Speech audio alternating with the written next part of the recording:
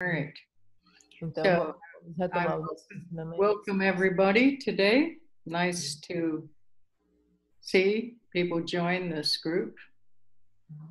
And we're, we're talking about a teaching on the seven point mind training uh, that was originally given by a great master called Atisha Dipankar.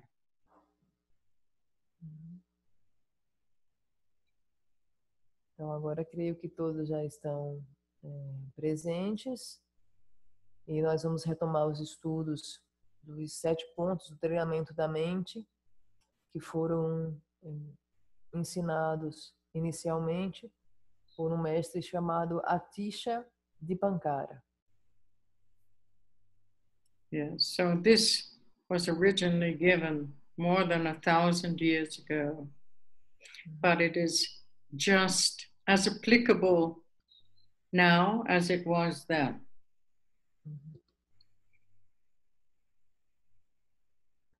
Esses ensinamentos foram é, proferidos há mais de mil anos atrás, mas eles são tão aplicáveis hoje como eles eram aplicáveis àquela época. Now, for some of you, you probably have not heard the other um, parts of the teachings. I, I don't know if all the different uh, teachings that I've given, the different segments of this teaching, are available on the internet or not. But if anybody is interested, then it's very good to go back and listen to the whole teaching, not just start here today and then not not be concerned about the rest of the teaching. Because as I always say, these teachings are psychological building blocks. Yeah, it all fits together in a certain way that gives you an overall idea of how to work with your own mind. É,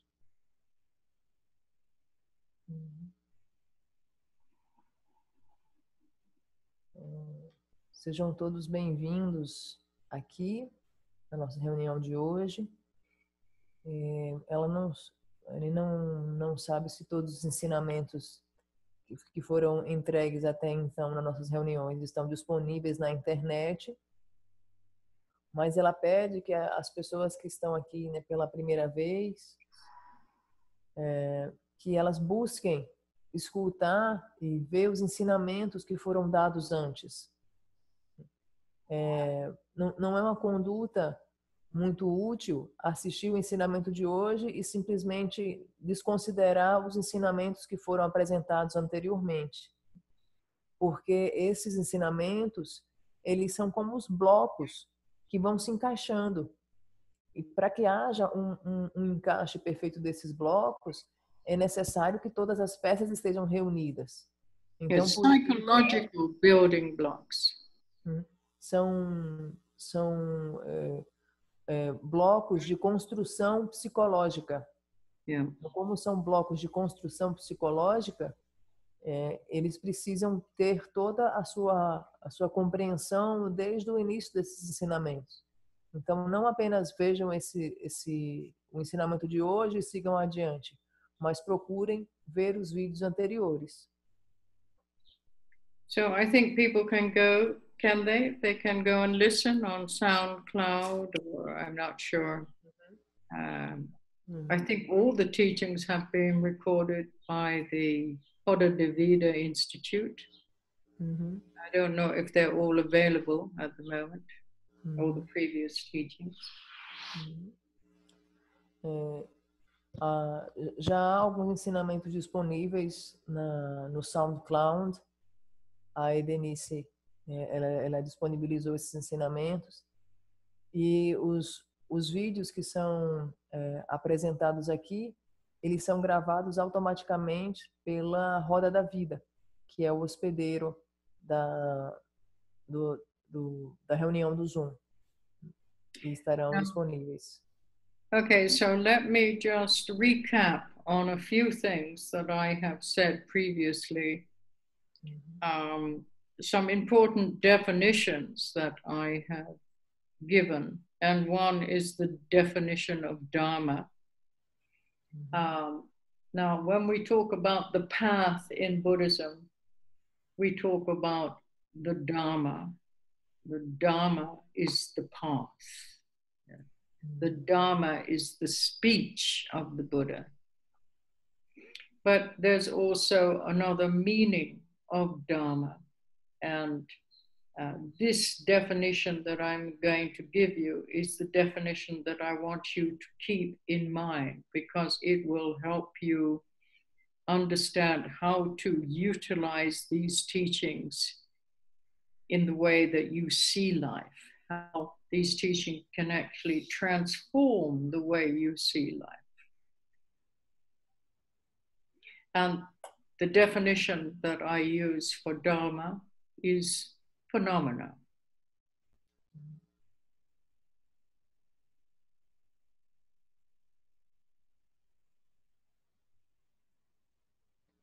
Phenomena, and we talk about practicing phenomena.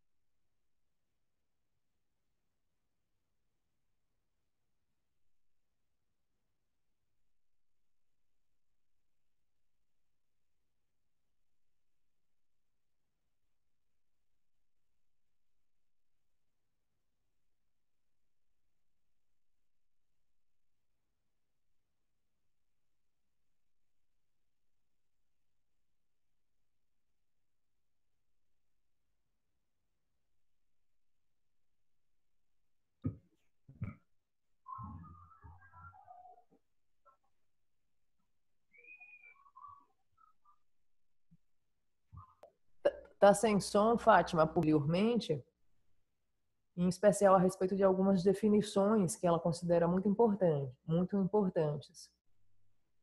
Quando falamos sobre o caminho budista, falamos a respeito de Dharma. E dizemos que Dharma é o caminho. Dharma é a fala do Buda, é o discurso do Buda. Mas eu gostaria que vocês mantivessem em, em mente essa definição que eu, que eu dei para vocês e que eu vou é, retomar e dar é, um maior destaque agora. Porque a definição que eu vou apresentar para vocês, e que apresentei anteriormente, ela permite como você pode utilizar esses ensinamentos né, na sua vida diária e no modo como você vê a vida. Essa definição de Dharma ela permite né, que você, tendo ela em mente, você possa transformar como você vê a vida. E a definição de Dharma que, que foi apresentada é que Dharma significa fenômenos. Dharma significa praticar os fenômenos.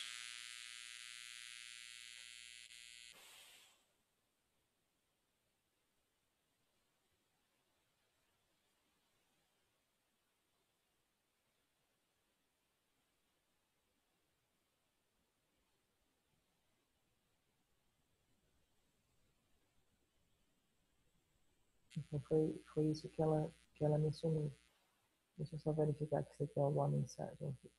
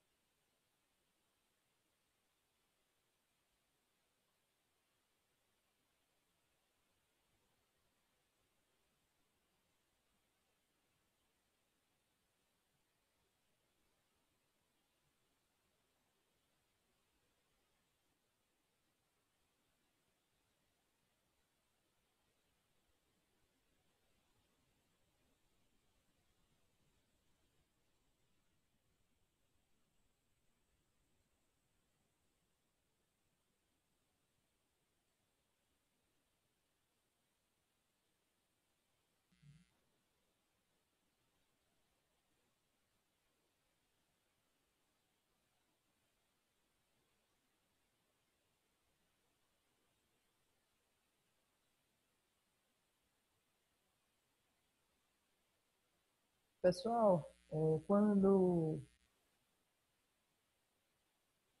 quando é, Anne mencionou que viria às cinco e meia,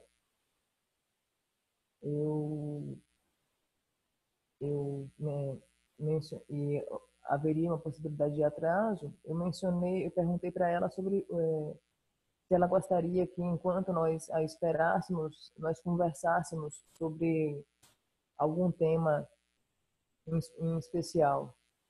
E aí ela ela pediu para que eu conversasse com vocês, que, eu, que vocês é, falassem, perguntassem, fizessem comentários e apresentassem as impressões, as impressões de você a respeito de mérito, a respeito do que é o mérito e de como nós, o que nós devemos fazer para acumular méritos. Para acumular méritos. Vocês gostariam de fazer algum comentário?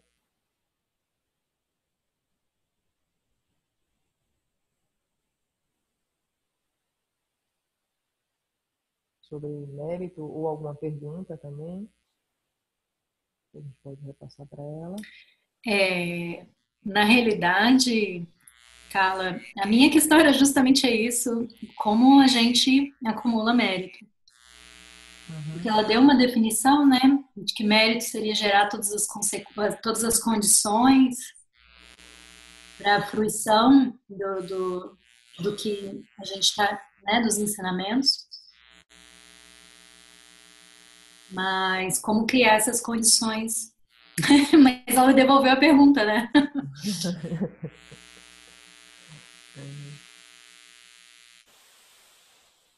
Alguém gostaria de falar?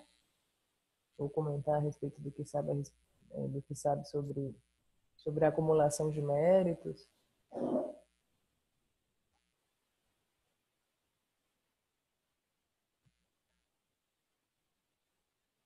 My connection in Natty Ling. I keep losing the connection here.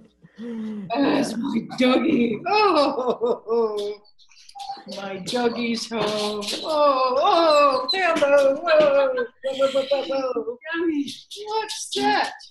Silver eyelashes. Anila, a primeira, primeira coisa é perguntar a você os dados da conta do Bradesco. Can we just talk about the teachings now and we'll talk about everything else later? Yeah, because now now it's important that before I lose the internet again, we will be able to give some teachings. okay, let's continue. Hmm. Now, uh, before I lost the connection, I was once again going over the definition of Dharma. Now, most people, when they hear the word Dharma, they think about the Buddha's teachings. But there is another definition to this word, and it just means phenomena. So I wanted you to consider, to contemplate this definition of phenomena. Because then, when we are practicing or when we are studying, we have to think about we are studying phenomena or we are practicing phenomena. Well, it doesn't really make sense to us, does it? What does it mean, practicing phenomena? So then last week I introduced you to an alternative word for phenomena, and I said, consider the word appearances. We are studying appearances and we are practicing appearances.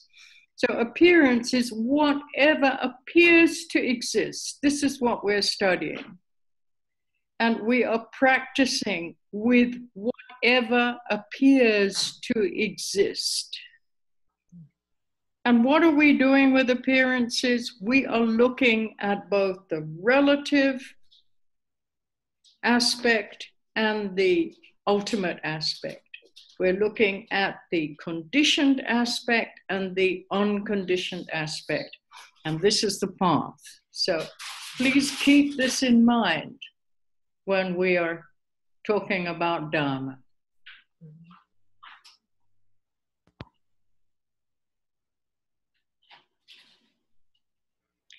In order to be in order to be enlightened, we have to understand the relative and the ultimate aspect of truth. The relative truth is the truth that depends on conditions to appear to exist. And the ultimate truth is the true unconditioned nature of the phenomenon.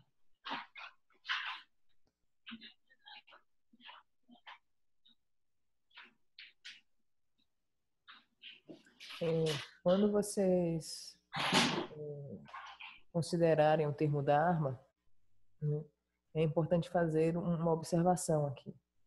A maioria das pessoas, quando escutam a palavra Dharma, né, elas pensam que Dharma significa, é sinônimo de ensinamentos budistas. Só que o, o que eu estou pedindo para vocês é para que vocês considerem e contemplem a definição de Dharma que eu estou apresentando para vocês. Que Dharma é fenômenos. Dharma é fenômenos e Dharma significa que quando nós estamos praticando, nós estamos praticando fenômenos. Quando nós estudamos o Dharma, nós estudamos fenômenos. A maioria das pessoas compreendem é, Dharma de uma maneira muito, muito limitada como ensinamentos budistas. Mas é preciso considerar e contemplar que Dharma significa fenômenos. Praticar o Dharma é praticar fenômenos. Estudar o Dharma é estudar fenômenos.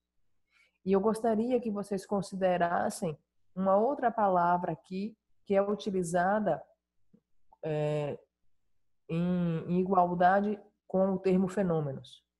Falemos aqui de aparências. Então, estudar o Dharma significa estudar as aparências. Praticar o Dharma significa praticar as aparências. Então, nós buscamos é, estudar e praticar é, o que quer que surja.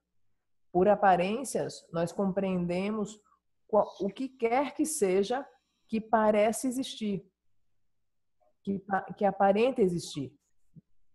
E nós vamos fazer essa, essa, esse estudo e essa observação vendo ambos os aspectos, ambos os aspectos, o aspecto condicionado e relativo e o aspecto não condicionado e absoluto da verdade.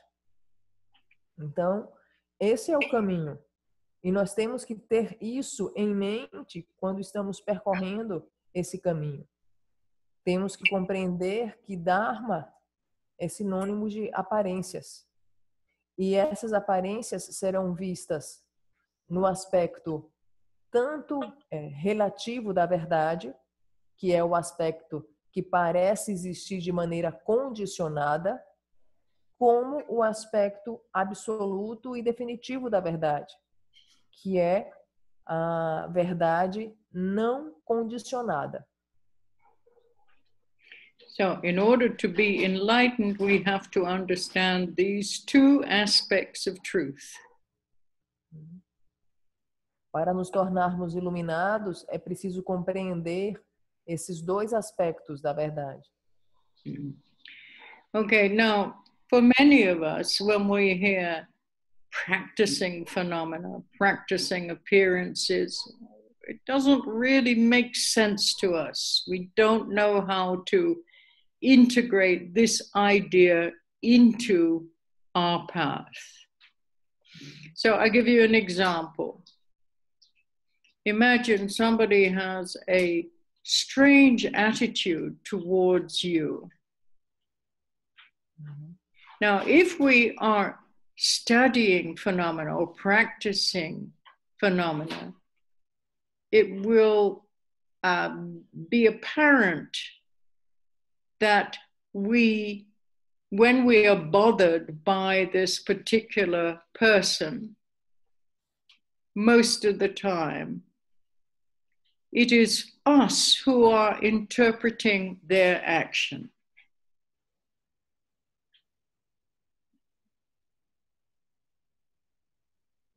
It is us who are interpreting that person's dialogue or his speech and the way that he is communicating. It is us who are interpreting what the other person is saying.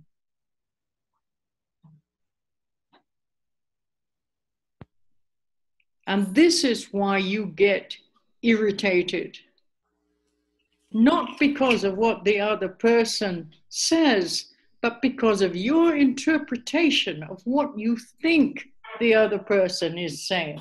This is the study of phenomena. This is the study of appearances. Why you are getting irritated at that moment. Why the phenomena appears to exist to you in that particular way, in that particular moment. So you are practicing phenomena, you're practicing things in order to understand what is the true appearance. Not just the conditioned appearance, but also the true nature of the appearance. And this is everything that happens in your life. So your practice is not limited to sitting on a cushion at a certain time in a certain place, but whatever is happening. Because it is phenomena, because it is constantly changing appearances that are arising, we are trying to understand now why does this appear this way in this moment? How can I see the true nature of this appearance?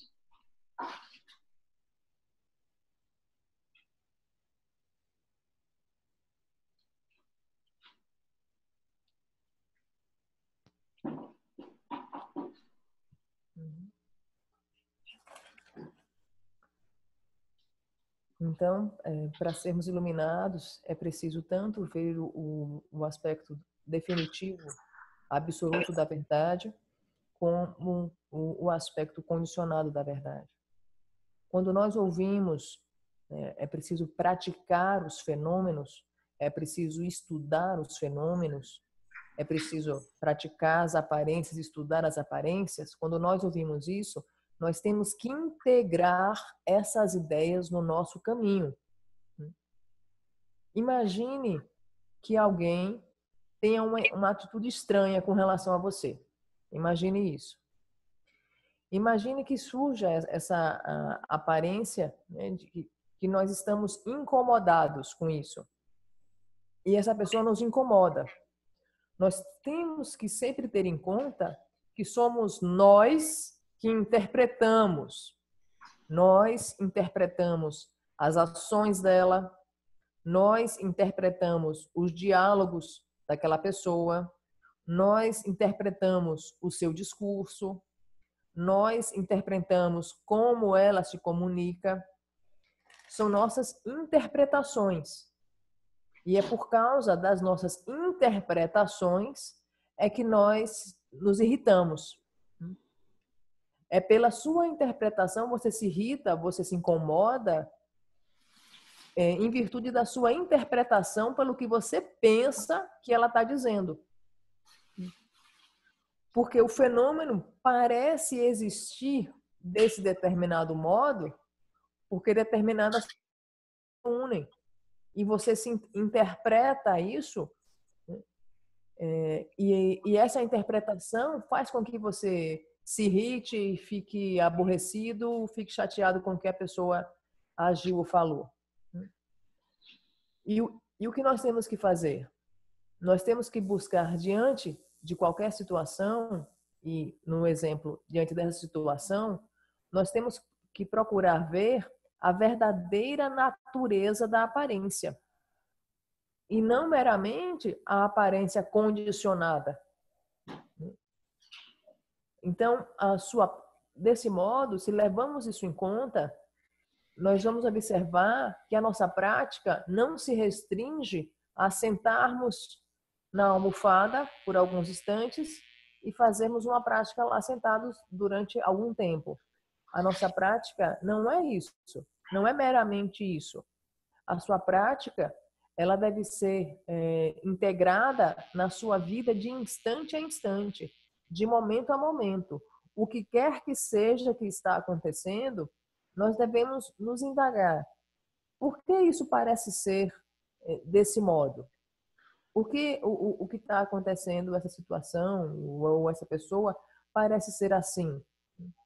E como posso ver a verdadeira natureza dessa aparência que está se apresentando para mim nesse momento? Então, e, e, isso precisa ser considerado. É, that's it. Honey. Okay, I'll give you an example. I don't particular, I don't particularly like noise. Mm-hmm. Um, noise, it really, it's uh, lots of loud sounds and uh, lots of people talking all at once. I don't particularly like that. Mm-hmm. Now, because I don't like noise, then sometimes when there's a certain situation and a certain volume of noise starts to arise, uh, then maybe I will feel irritated. Maybe I won't want to be around those those people or that kind of environment. Maybe I will move away from those people.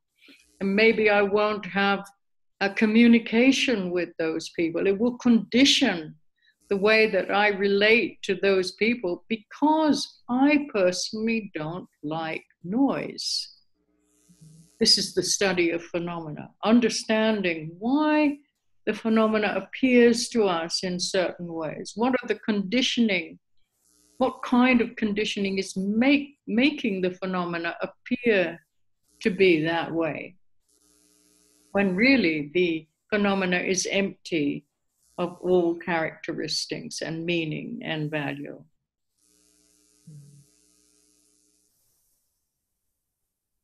Understand, Carla? Uhum. Eu listei um exemplo né, no, no, outro encontro. Né. Eu, por exemplo, eu não gosto particularmente de barulho. Eu não gosto de barulho, não gosto de um monte de gente falando ao mesmo tempo, não gosto de, de pessoas ali é, falando em, em voz alta. E por que eu não gosto de barulho? Né? Quando eu estou numa situação que o volume surge, o ruído surge, é, e as pessoas começam a falar, então, porque eu não gosto do barulho, Talvez eu fique irritada com as pessoas que estão é, falando ali. Talvez eu queira me afastar das pessoas. Talvez eu não queira é, me comunicar com, com, com as pessoas. Né? Talvez eu queira sair daquele ambiente. Hum.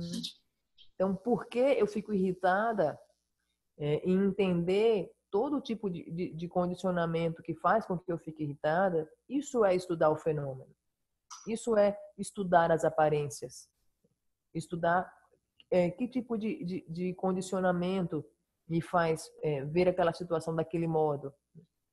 Porque quando nós buscamos estudar os fenômenos, nós temos que, é, que compreender que os fenômenos, as aparências, elas são vazias, vazias de todas as características, vazias de significado, vazias de qualquer tipo de valor.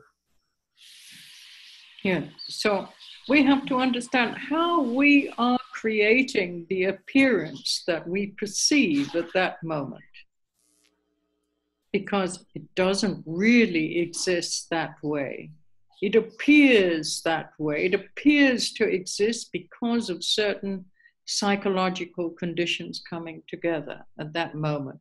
So then it appears to be something that causes irritation. mm-hmm. or causes anger or causes desire. But it's not really the object which is the cause of the problem, but the way that we are interpreting what we perceive.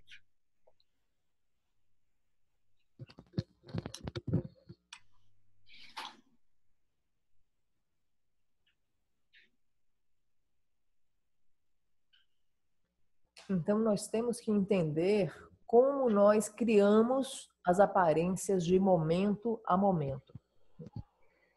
Nós temos que entender que isso parece ser assim porque há determinadas condições e condicionamentos é, que, que, que acontecem. E porque aparenta ser de um determinado modo, isso me causa irritação, raiva, desejo, é, medo. Nós precisamos é, considerar que não é o objeto que nos causa irritação, raiva e desejo. Não é o objeto. É o modo como nós interpretamos o que percebemos. That's it.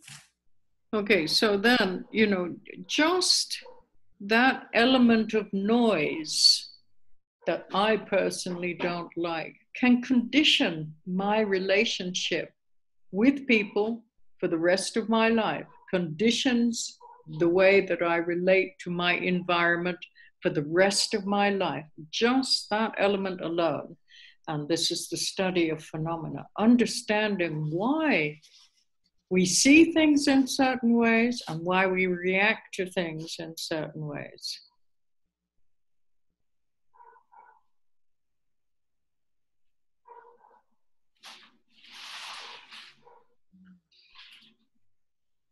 Então, simplesmente esse elemento, simplesmente esse elemento de que eu não gosto de ruído, só esse único elemento, ele pode condicionar o modo como, como eu me relaciono com as pessoas, ele pode condicionar o modo como eu me relaciono com o ambiente.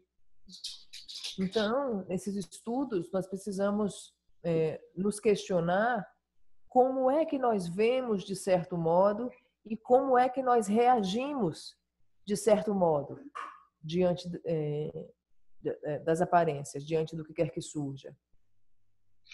Now, this is true. This happens all the time. And if you investigate, if you study appearances, then you will begin to understand more and more what is conditioning the way you see why you see things in particular ways and why you react to the way that you see these things at that moment.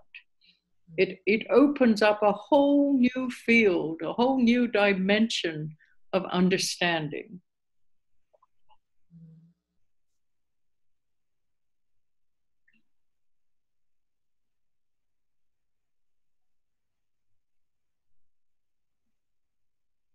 E, isso é verdade. Isso acontece o tempo, o tempo todo. Né?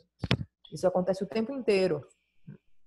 É, um, um, uma, um determinado é, uma determinada é, postura nossa a respeito de algo vai condicionar o modo como você vê. E você precisa questionar. Isso é estudar os fenômenos, isso é estudar as aparências. Se questionar como você vê né, a, a, aquela situação, aquela aparência. Por que você vê daquela determinada maneira? Né? E, e quando nós passamos a estudar isso e a observar isso, analisando o modo como nós vemos e por que nós vemos daquele modo, isso abre de uma maneira muito ampla todo o nosso campo de compreensão, todo o nosso campo de entendimento. So, this study of phenomena uh, is the same. When you're going through pain, it's the same. When you're going through happiness, um, when we're going through pain, we understand more the true nature of pain. We're not just talking about uh, emptiness. Uh, we're talking about, you know, looking at pain, looking at the sensation, how long does it last? Is it something solid or is it something changing? Does it become more intense, you know, less intense? Uh, has any pain really lasted continuously without changing before? What is the cause of the pain? Maybe it doesn't necessarily come from something external, not only an external source, but maybe it's you who is interpreting it in a certain way, things like that. So, this is what I'm trying to tell you. We constantly have an opportunity to study all of this. It's a limitless opportunity. It does not have to be limited to sitting on a cushion in a certain position at a certain time in a certain place. This is Dharma. This is the study that we're doing. Understanding, understanding the true. Por quê? Não quer mais ficar com a pucutuca? Nem eu. Our study should be limitless. We should begin to understand that we constantly have an opportunity to see the true nature of the phenomena. You don't limit your opportunity. Use whatever presents itself as the path.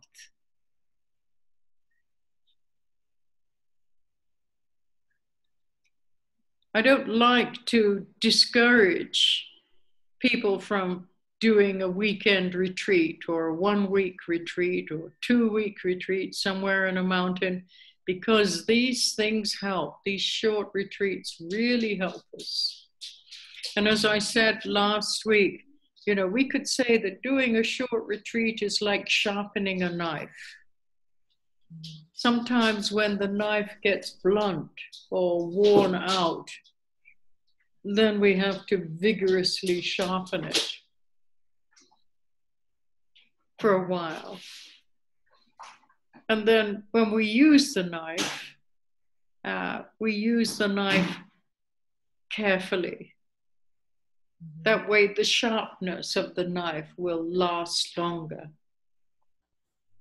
Mm-hmm. But whenever we have the chance, whenever we have the facilities, we should sharpen our knife, you know, mm-hmm. vigorously for five minutes. And this is why short periods of practice during the day, you know, just really pause and look at what is arising, what appearances are arising to your consciousness.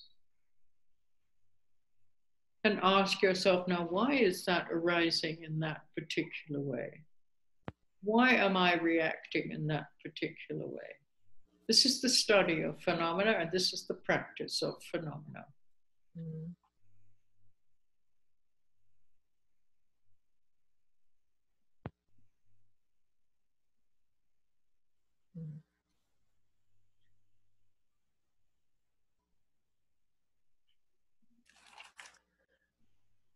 E esse estudo é sobre fenômenos. E esse estudo implica que nós vamos nos aprofundar e observar tanto a dor como a felicidade. E quando nós buscamos observar a dor, nós vamos buscar entender a dor mais e mais e sermos capazes de ver a verdadeira natureza da dor. Vamos nos debruçar e, e, e nos questionar e observar a sensação da dor. Quanto tempo a dor dura? A dor é sólida? É fixa? Ou ela muda? Quando é que a dor fica mais intensa? Quando é que a dor fica mais suave? A dor, ela dura continuamente e permanece ali sem nenhuma alteração? E ao nós estudarmos a dor e observarmos a dor, nós é, perceberemos talvez que a dor ela não vem apenas de algo externo que a dor ela não tem uma fonte só externa, mas ela vem do modo como nós interpretamos é, o, a, qualquer aparência que, que esteja surgindo naquele momento. Vem, do, vem também de uma fonte interna, da maneira como nós a interpretamos. Então, nós constantemente é, estamos diante de oportunidades ilimitadas. E isso é o Dharma, nós estudarmos de modo é, ilimitado. O nosso estudo deve ser ilimitado porque todas as oportunidades são oportunidades de ver a verdadeira natureza dos fenômenos. Não limite essa a sua oportunidade, não restrinja a sua oportunidade. Use o que quer que se apresente na sua vida, eh, o que quer que se apresente de instante a instante, use isso como caminho. Eu sempre eh, busco encorajar as pessoas para que as pessoas façam pequenos retiros, né? mesmo que sejam retiros de finais de semana, uma semana, um mês. Se, se vocês tiverem essa oportunidade, aproveitem essa oportunidade. Porque ir para um retiro é como afiar a faca, é como amolar a faca. A nossa faca fica sem fio, né? fica cega, e nós, quando vamos para um retiro, nós fazemos um, uma. Essa faca volta do retiro vigorosamente afiada. E como ela está vigorosamente afiada, quando nós vamos utilizar essa faca, nós vamos estudar essa faca cuidadosamente. E quando nós é, tivermos a oportunidade, nós vamos usar essa faca com uma maior precisão. E é muito importante também que nós tenhamos durante o nosso dia pequenos períodos de prática.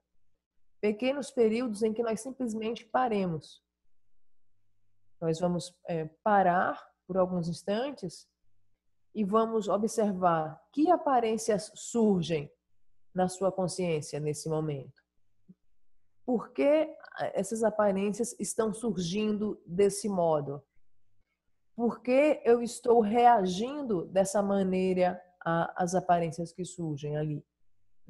Esse é o estudo e a prática dos fenômenos. That's it, Tony. You know, when we begin to really investigate pain, the phenomenon of pain, then we actually see that we could say that pain itself, the physical aspect of pain, is only 20%. The psychological aspect of pain is 80%. So, if we can work with the psychological aspect then of course we can alleviate a lot of our discomfort.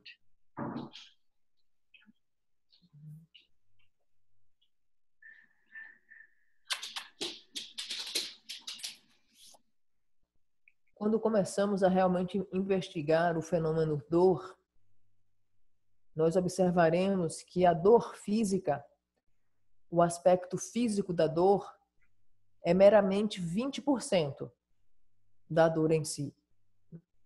E o aspecto psicológico da dor é 80% da dor. Então, com certeza, quando nós buscarmos estudar a dor, praticar a dor, com certeza nós poderemos aliviar em, eh, muito o nosso desconforto. A lot of our relationship, our psychological relationship with pain, is uh, involved in hope and fear. You know, the the fear that we're going to get worse and the hope that we're going to get better. So then it's always exaggerated. The physical sensation is always exaggerated by the hope or the fear. Mm. I'm not going to talk about this now, but mm-hmm. it's, it's very interesting when we study phenomena. We begin to see things in many different ways.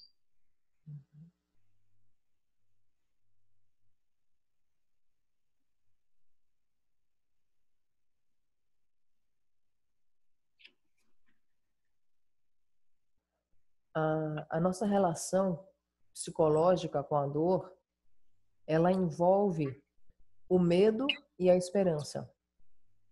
Nós temos medo que aquela dor piore, que ela se intensifique, e nós temos esperança de que aquela dor passe ou suavize. E essa no nossa relação psicológica da dor é sempre exagerada a sensação física da dor é sempre exagerada em virtude justamente dessa presença desse jogo de medo e esperança. E é muito interessante que nós possamos estudar os fenômenos, porque a partir desse estudo nós vamos ver as coisas de muitos, muitas maneiras bem diferentes do que nós vemos atualmente. Okay, so let's come back to the analogy of a knife. Mm-hmm. It's very helpful to uh, vigorously sharpen our knife for five minutes or so, now and again, because this will really keep it sharp and precise and keen.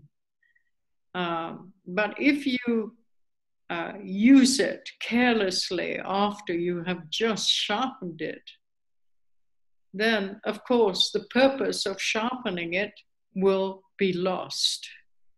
Mm-hmm. So, you know, if you do a weekend retreat, but you do not keep a level of mindfulness in your daily life, in what we call post meditation time, then the actual result will be lost. Mm-hmm. So you have to ask yourself why do we meditate? Why do we do practice? And the answer is so that we can perform we can perform much better during the post meditation time we know how to relate to appearances in a much more beneficial, more beneficial way. Uh, so, this is what all the teachers tell us. When we talk about opportunity, we might think that opportunity is something that comes along occasionally. But actually, this is not really true. This is not the case. Uh, opportunity is happening all the time. But realizing that this is opportunity all the time, that's what's difficult. Reminding yourself that this is an opportunity to see more clearly. Um, and this is where the word merit comes in. Uh, if you are a practitioner, then you are supposed to generate or cultivate merit so that you have more opportunities to practice the Dharma. You have more favorable circumstances and conditions to be able to see more clearly. Um, to help sentient beings. Now, how do we collect that merit? And merit here is very much related to our attitude, to our intention, the intention behind our action. You know, two people can be doing the same action, but their intention is very different. So then the result of their action can be either positive or negative. Everything is conditioned by their intention. Uh, for example, if you walk or if you drive at night uh, towards a big city and you could think, well, I will offer all the lights that I see, wherever I see light, I will offer these lamps. You won't need to make special lamps. You won't need to burn candles, but you offer light to illuminate the darkness and the confusion of all beings, to bring an end to suffering. You are taking the opportunity to work with appearances. But you have to see it as an opportunity. If you don't see it as an opportunity to make an offering, you're not going to use it as an opportunity. So, you know, this is a light offering to the Buddhas and the Bodhisattvas. So, if you want to, you may think all these lights that I perceive will illuminate the darkness of all beings. That's my wish. And that alone creates a lot of merit, immeasurable merit. Accumulating merit is very easy. It's as easy as accumulating bad karma. It's so easy. So remember what I've been telling you. It's a matter of mind training, how you see, how you interpret what you see.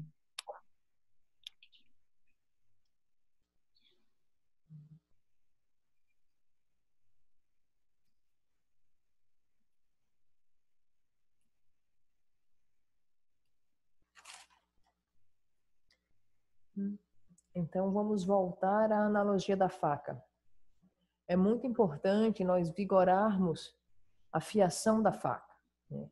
É muito importante nós buscarmos manter a faca sempre afiada em vários momentos do nosso dia.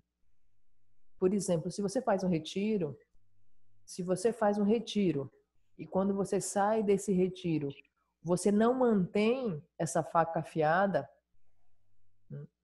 você não, você não busca estar com atenção plena, você não busca né, é, fazer práticas e após meditação, ela permite que nós fiquemos né, com, com atenção plena e, e o resultado de nós não praticarmos e o resultado de nós não afiarmos a faca é ficarmos perdidos.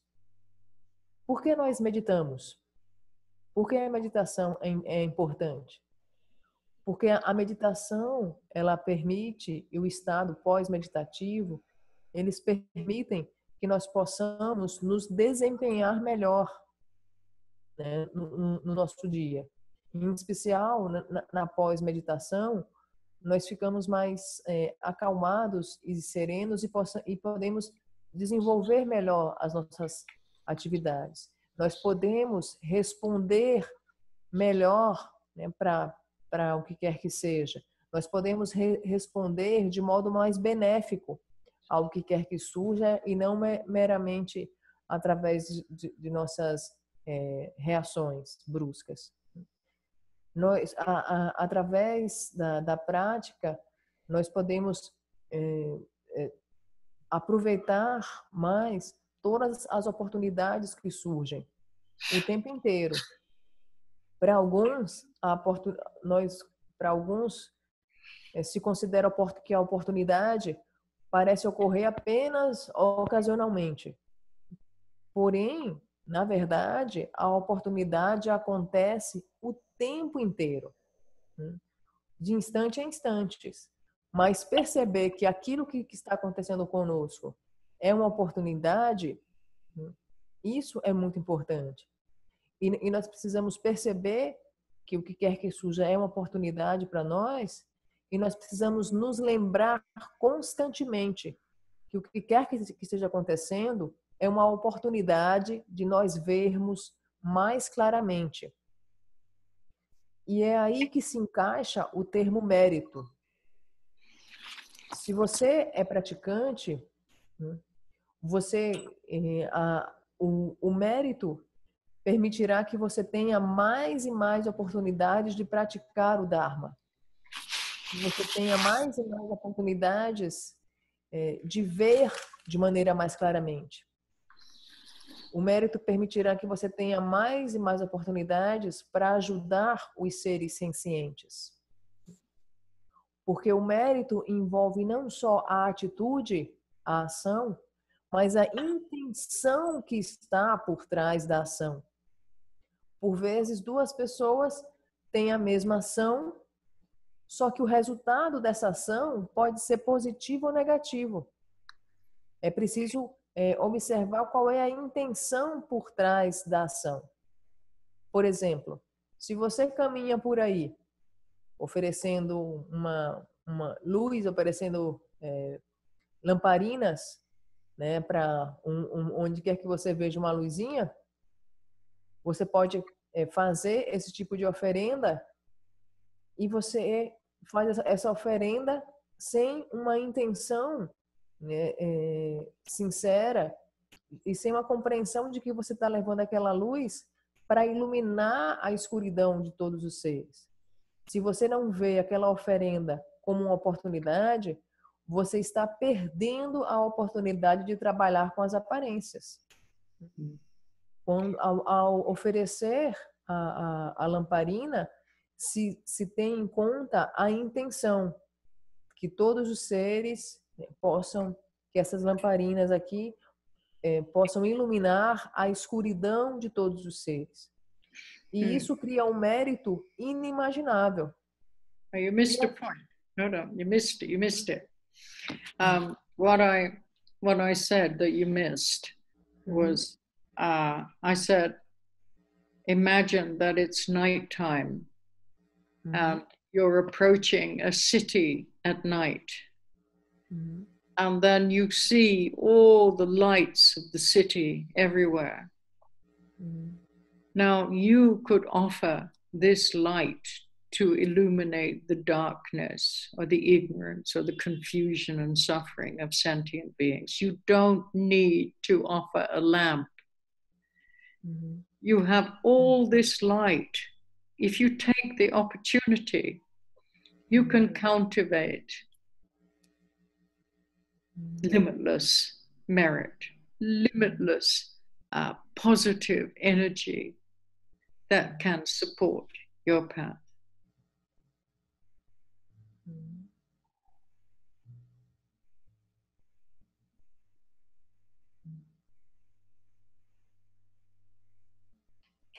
Então, a Anitta está fazendo uma, uma observação que eu perdi um, um determinado ponto da tradução. Aí ela mencionou: imagine que você está se aproximando de uma cidade e que a luz nessa cidade é para todos. E você pode oferecer né, essa, essa luz, mas não fisicamente a luz, uma, uma lamparina que você vai entregar para né, cada um é, daquela cidade. Você não tem que oferecer essa lamparina física, mas você pode oferecer essa, essa luz para é, para iluminar toda a escuridão de todos os seres dali. E quando você faz isso, você oferece essa luz, você pode cultivar mérito. Você pode cultivar um mérito de maneira ilimitada. E você pode cultivar a energia positiva que, que, que pode apoiar o seu caminho. E é, e é fácil acumular mérito. É tão fácil como acumular um karma ruim. Uhum. E você precisa sempre, constantemente, é, questionar como você está vendo né? e como você interpreta o que você está vendo. So, you know, what we're talking about here, don't forget the topic of these teachings. It's the mind training in seven points. So, this is essentially the whole teaching is about training the mind to see things in a different way, to see things in a more positive and more beneficial way that will not only benefit you, but will benefit all sentient beings. So, You know, this is what we're doing here. We're talking about mind training. And actually, if we examine our lives, we've actually done, uh, or we've actually been doing mind training. In fact, we're quite expert in mind training. It's just that we've been training our mind in the opposite way than we should have been training it. Uh, it's as if, you know, uh, let, us look at another example. Um, no one is actually born alcoholic. No one is born that way. Uh, no one is actually born aggressive. So, all of these habits that we have, it's because of our mind training in relationship to these actions. So, uh, you may have gone to the perfect temple such as a bar. Hmm? And you have an incredibly compassionate guru who will teach you how to drink. And then you're a very obedient student and you practice the teaching of drinking wholeheartedly and diligently and this is why we are like the way we are now, you know, which could be an alcoholic or a whatever we are dependent on. Now, in order to get away from this, it's quite difficult, isn't it? And this is mind training. You've trained your mind into this kind of uh, activity, this activity which has become totally dependent on certain things in order to feel good. Now, it's not so evident uh, because all of this is what we always do.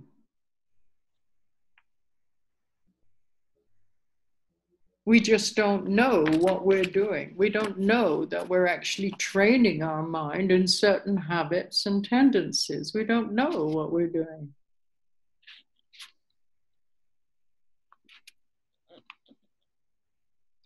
We don't know we're engrossed in an illusory world. Because we're so attached to the comfort and the pleasure of our worldly life.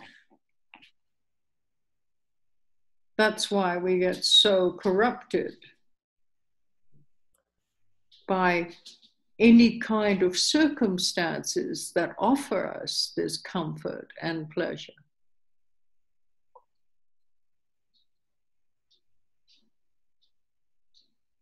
Our mind is actually very flexible, very malleable.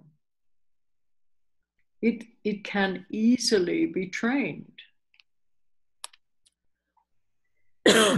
we can train our mind to accumulate merit. It's quite easy to train our mind to accumulate merit. That is the positive conditions that will support our path to awakening.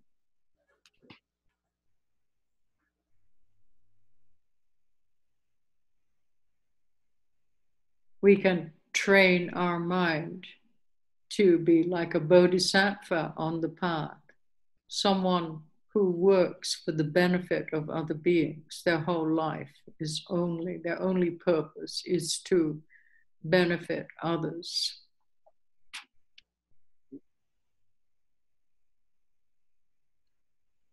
And this person has courage, incredible courage.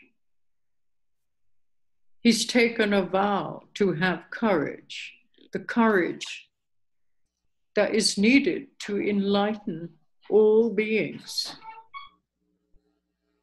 And he's not going to give up until all beings are free from suffering and the cause of suffering. This term bodhicitta, bodhi means awake and chitta means mind or consciousness. This is the aspiration that we need, that wish to be able to free all beings from suffering and confusion. And in the uh, Mahayana path, um, bodhicitta is very important. This wish to enlighten all beings.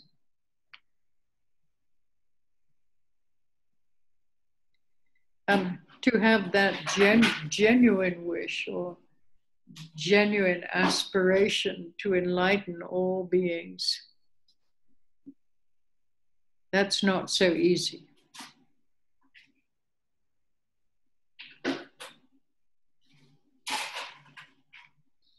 In order to have that, then we have to do all this basic mind training that will help us have this true aspiration to benefit all beings.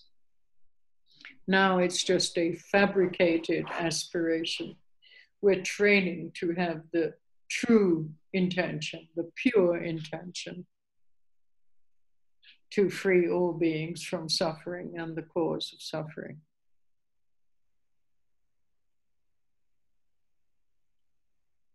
So, mind training can come from anything, even just by seeing a street lamp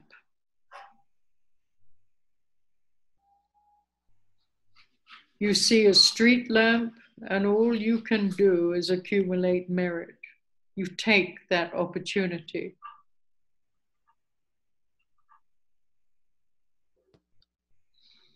And this is what we mean by taking the opportunity.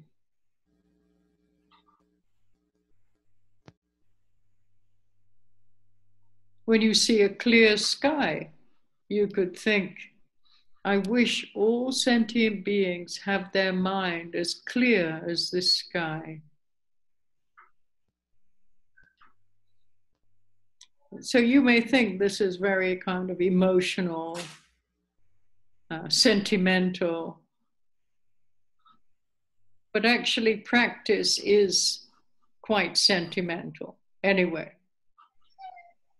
theory is always intellectual, but practice is always kind of emotional. You're working with your emotions.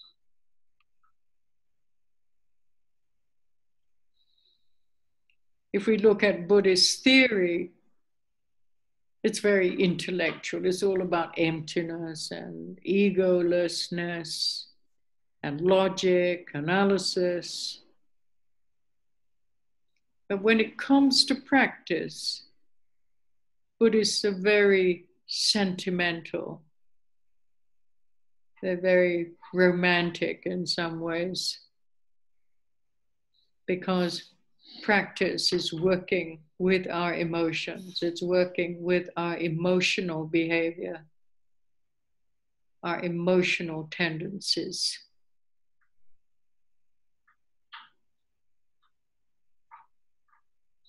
but they both have to go in hand in hand the intellectual and the emotional. The emotion and the practice. So, this is why this kind of romantic, sentimental idea is necessary and it works. This is how we train.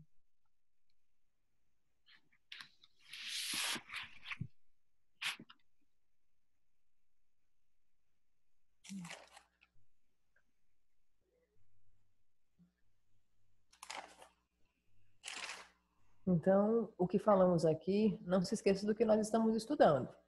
Nós estamos estudando os sete pontos do treinamento da mente. e nós estamos estudando o treinamento da mente para ver as coisas de um modo diferente, para ver as coisas de um modo mais positivo, mais benéfico, que beneficie não só você, mas beneficie todos os seres. E é, se nós observarmos bem, na verdade nós somos bem especialistas, bem experts em treinamento da mente. Só que nós estamos treinando a nossa mente do modo oposto como nós deveríamos treiná-las, treiná-la como nós estamos estudando aqui.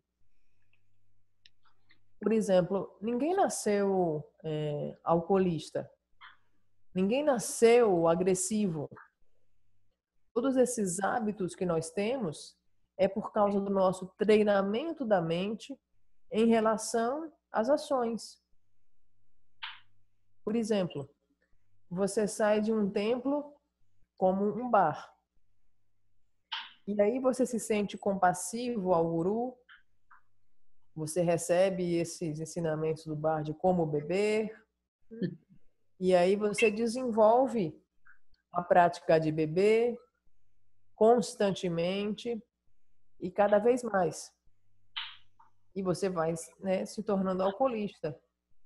E, e para sairmos disso, é bem difícil. Porque é, nós estamos sempre dependendo de coisas para sermos felizes. E o que estamos fazendo com o treinamento da mente é desenvolvermos uma atividade de sermos capazes de estarmos totalmente independente das coisas para sermos felizes. Não é tão evidente, porque tudo isso é o que fazemos sempre. E por vezes nós constantemente não sabemos o que nós estamos fazendo. Mas nós estamos constantemente nos treinando, de certo modo, a termos certos hábitos e tendências. Em especial porque nós somos apegados a conforto e ao prazer. De maneira que tudo que, que nós somos corrompidos a todo tipo de circunstâncias que nos oferecem conforto e prazer. A nossa mente, ela é flexível, a nossa mente é maleável e ela pode ser treinada. E é bem fácil acumularmos mérito. É bem fácil é, acumularmos condições para que as nossas mentes sejam capazes de ver o que quer que surja como uma oportunidade para vermos com mais clareza. E nesse ponto né, vem o termo bodhisattva. Quando alguém é, busca ser um bodhisattva no caminho, isso significa que o único propósito que essa pessoa tem é beneficiar é, todos os demais durante a sua vida inteira. E o Bodhisattva, ele faz votos. E um desses votos é, o voto de, é um voto de coragem, que implica em é, buscar a sua vida inteira iluminar todos os seres, para que todos os seres possam se libertar do sofrimento e, da, e das causas do sofrimento. A palavra bodhicitta significa mente e aspiração. A aspiração do desejo de libertar todos os seres do sofrimento e das causas do sofrimento. Na linhagem, no budismo Mahayana, esse termo é constantemente abordado. E para que, para que tenhamos essa aspiração genuína de iluminarmos todos os seres, não é, não é tão fácil. Porque o que nós temos, de um modo geral, essa aspiração que, que nós temos atualmente é uma aspiração fabricada. E é por isso que nós precisamos fazer a base do treinamento da mente, para que nós precisamos, para que nós possamos desenvolver essa aspiração sincera e verdadeira de é, querermos que todos os seres se libertem do sofrimento e das causas do sofrimento. O treinamento da mente, com a prática do, do treinamento da mente, qualquer luz que você veja no caminho, você vê a oportunidade. Quando você vê um céu claro, ao olhar para aquele céu claro, você pode desejar de todo o coração. Eu espero que, to, que a mente de todos os seres possa ser tão clara como esse céu que eu estou observando aqui agora. E, e isso é, parece ser bem sentimental, bem é, emocional. E na verdade é assim. É sim bem, bem sentimental, é sim bem emocional, porque você está trabalhando com as suas emoções. E se você olha para a teoria, é, a teoria essencialmente é meramente intelectual. Você estuda os termos intelectualmente. Ah, então vamos estudar a vacuidade, vamos estudar a ausência de ego, é, de uma maneira muito lógica e através da analogia. Mas quando você pratica, é muito sentimental, é muito emocional porque nós estamos estudando o nosso comportamento emocional. Nós estamos estudando as nossas tendências emocionais. Mas ambos precisam andar de mãos dadas. O emocional e a prática.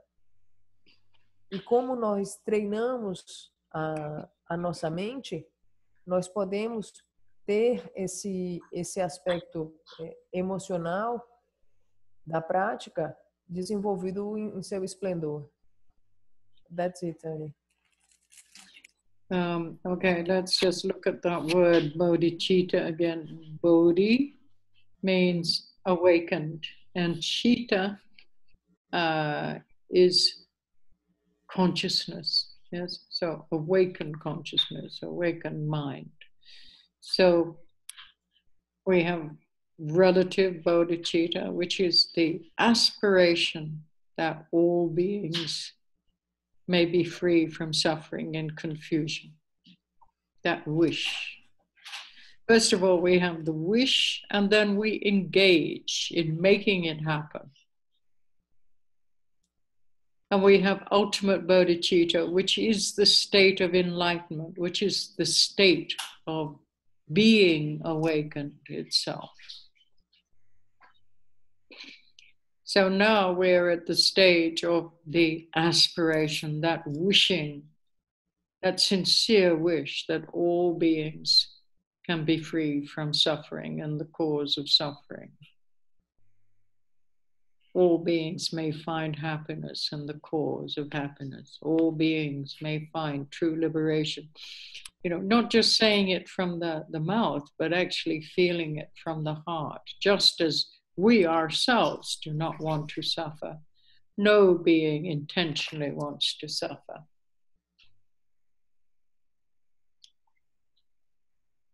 So, bodhicitta, you hear bodhicitta a lot in the Mahayana approach to the path. Because the Mahayana approach is based on our relationship with other beings.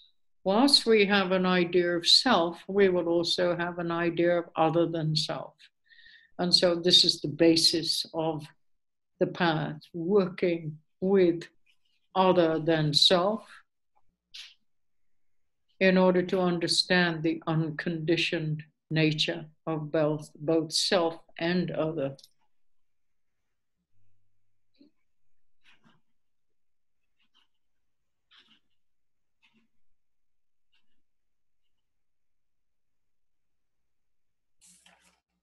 Então, é, voltemos à palavra bodhicitta.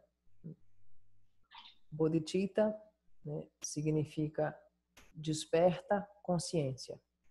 Consciência desperta.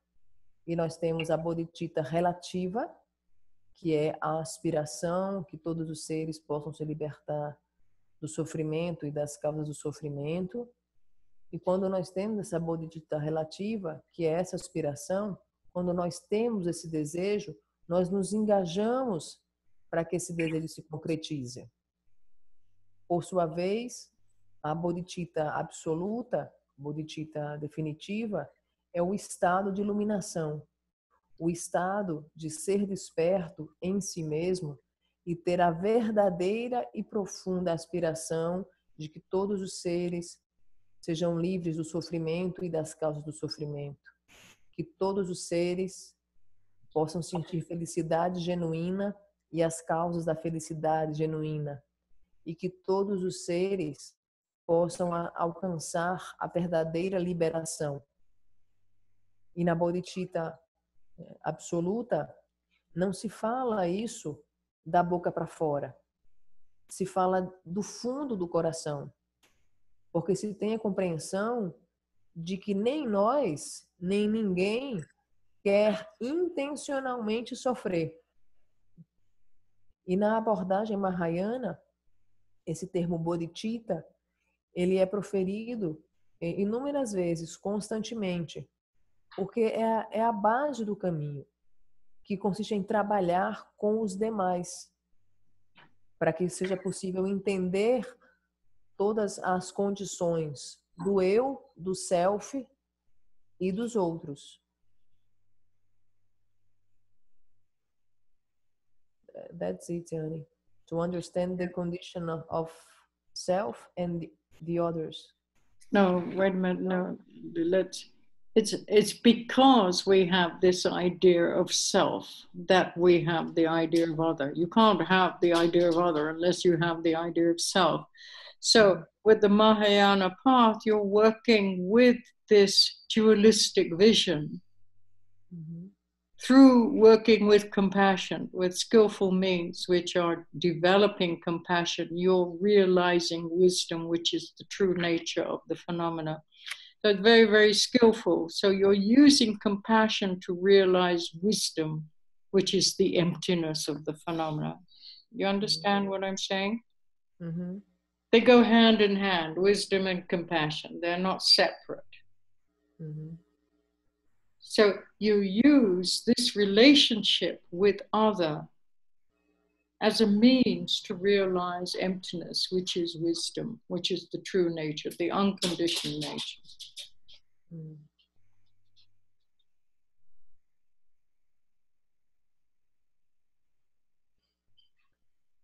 Então, porque nós temos a ideia de self, é que nós temos a ideia do outro. E você trabalha com a compaixão. E ao trabalhar com compaixão, você está realizando a verdadeira natureza dos fenômenos. Você consegue realizar a sabedoria. E nesse caminho Mahayana, a sabedoria e a compaixão, elas caminham juntas. E você usa eh, a compaixão como meio de realizar a sabedoria, como meio de realizar a natureza, como meio de perceber a natureza não condicionada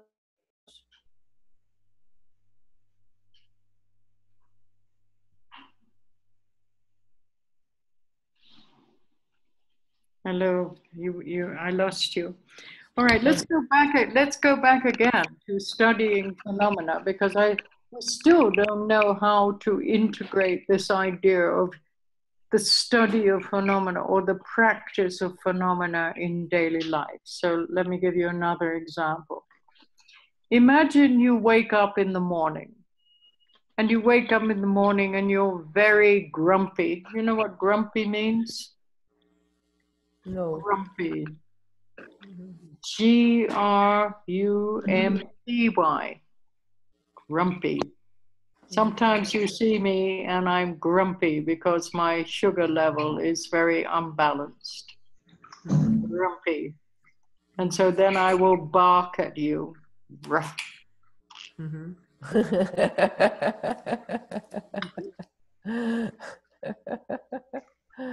uh. Grumpy, let me see. Mm. My translator. Yes. The word of the day, grumpy. Grumpy. Mm. Hum. É. Indisposto, mal-humorado, mm. áspero, rabugento. Okay, grumpy. So Uhum. imagine you wake up in the morning and you're feeling extremely grumpy, Uhum. And the whole world is not working for you. So you go down to get some coffee, and the coffee machine is not working.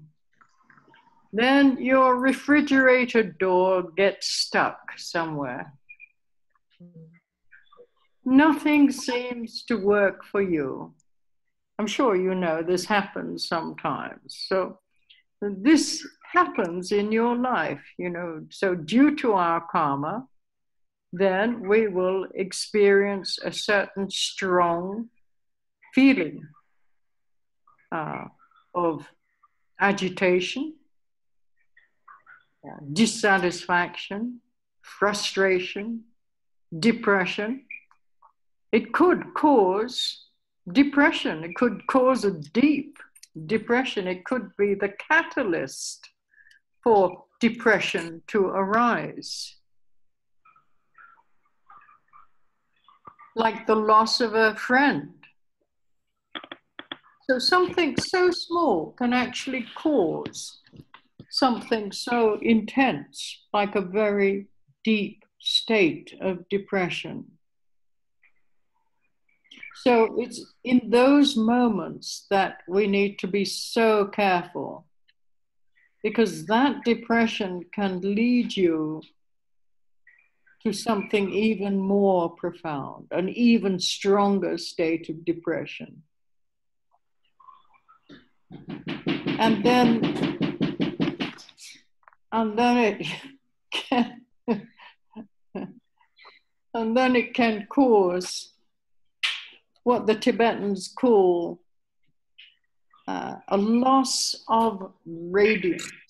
You lose your radiance. So this is some, this comes from Tibetan culture. It's Tibet, a Tibetan term. I don't know uh, whether you like to hear things like this. Um, in Tibetan, it's called lungta, lungta. Uh, you lose this kind of radiant energy about you. And this is what happens, you know, in this imperfect world that we perceive. So, definitely, we will go through lots of happy times, pleasurable times, but we will also go through many unfavorable circumstances, uh, and we may brood over them. And then you think, you know, how bad you might feel about whatever's happening. And this constant negative attitude to what is unfavorable, it becomes a habit. And then, you know, this is why we're studying the mind training now. So, you know, it may not make you feel very happy what I'm saying. It may make you feel very miserable what I'm saying. And this is because you're not understanding the phenomena. Once again, you're not understanding the phenomena. You're not understanding the meaning of appearance. You're not studying appearance and you're not practicing appearance. And this is why you have the feeling of being miserable when you hear things like this. So now we're given so much responsibility. With these kind of teachings, you're given the responsibility of your life, of your life's experience. You're given it, your you, it is given back to you. So your experience of life is your responsibility. We don't want to hear this. This makes us feel very miserable. because we are creating our own experience. It's not happening out there. Our experience comes from the way we are interpreting these appearances, the way we're interpreting this phenomena that arises to our senses.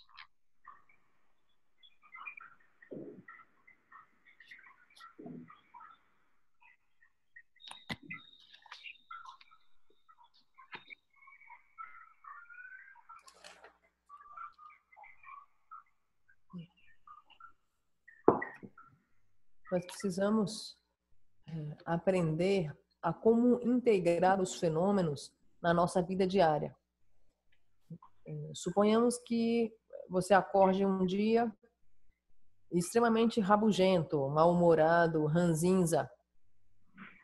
E como, como a Anne mencionou, que às vezes ela está ranzinza, mal-humorada, porque é, é, o nível de açúcar dela no, né, no sangue não está adequado e você fica tão rabugento e mal-humorado, parece que você vai morder as pessoas, avançar nas pessoas, como um cachorro. Né? E você acorda mal-humorado, ranzinza com o mundo inteiro, e o mundo inteiro não funciona para você, não serve para você. E aí você desce para fazer um café, para tomar um café, e a máquina do café não funciona. Você vai tentar abrir a geladeira e a geladeira está com a porta grudada ali, empacada e, e você vai ficando mais e mais ranzinza. E devido ao nosso karma, nós sentimos sentimentos muito fortes, sentimentos de frustração, sentimentos de tristeza, de raiva, de decepção. E por vezes, esses sentimentos são catalisadores de uma depressão. E às vezes esses elementos catalisadores de uma de uma depressão podem surgir, por exemplo, com a perda de um amigo. E também esses elementos catalisadores da depressão pode ser algo tão pequeno e algo tão pequeno pode causar algo tão grande, tão destrutivo que pode que esse é, estágio, depressivo pode é, se ampliar e passar para ser um estado depressivo mais intenso. E é que é um termo que os tibetanos utilizam, que quando isso acontece, há a perda da radiância, a perda do brilho, a perda da energia radiante que existe sobre você. E o, o nosso mundo, é, que percebemos como imperfeito, ele está constantemente à nossa volta e nós passamos a, em determinados momentos de alegria de, de felicidade, de, de prazeres. E também nós passamos por muitos momentos de circunstâncias desfavoráveis, que por vezes nos arruinam. Nós é, temos um sentimento ruim, consequentemente, é, temos uma atitude ruim diante do que nós julgamos serem essas circunstâncias desfavoráveis. E isso acontece porque você não está entendendo os fenômenos. Você não está entendendo os significados das aparências. Você não está estudando as aparências e você não está praticando as aparências. E por você não estar tá entendendo isso, é, talvez por causa disso você se senta bem é, miserável né, com esse tipo de ensinamento com esse tipo de ensinamento de, de, de, do treinamento da mente. Mas a oportunidade que nós é, estamos tendo estudando o treinamento da mente, ela é grandiosa. Porque com esse ensinamento, a responsabilidade sobre a nossa vida é dada de volta para nós. As experiências pelas quais nós passaremos serão de nossa própria responsabilidade porque nós seremos capazes de compreender que todas as nossas experiências vêm do modo como nós interpretamos as aparências. É, e os fenômenos que surgem, as nossas experiências também vêm dos fenômenos que surgem de instante a instante e do que isso é, impulsiona os nossos sentimentos. De maneira que as nossas, as nossas experiências, o julgar se algo é favorável ou desfavorável, bom ou ruim, vem do modo como nós interpretamos o que quer que surja na nossa vida. That's it, Terry. Now, usually when we feel that we have taken on so much responsibility, uh, then we get, we feel really tired. Uh, we don't sleep well. And slowly, slowly, then we begin, possibly, we ignore our friends. We might become aggressive. We might become arrogant towards the people around us. And then we get into a habit. First day, first depression that we feel. It's very important to see that, you know, this is every day is a new new day. Don't let yourself get caught up in that feeling take the opportunity to see things in a different way. So, opportunity and merit. How to accumulate merit.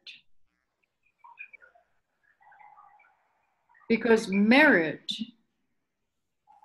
is actually about removing obscurations.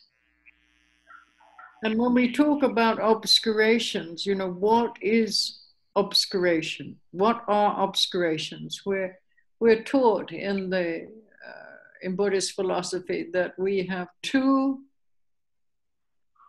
types of obscurations, two main obscurations that are preventing us from full awakening to our own nature. The first is uh, intellectual obscurations. And these are, are, incorrect ideas. I've talked about this many times before, but once again, um, we have a lot of incorrect assumptions about life. And we believe in these ideas without examining them. So, these incorrect ideas make us see things in a very distorted way. So our perception has now become distorted because of our incorrect ideas about the phenomenal world. Turn on the microphone, Claudia, uh, Carla. Hmm. Ask somebody to close their microphone. Who is it?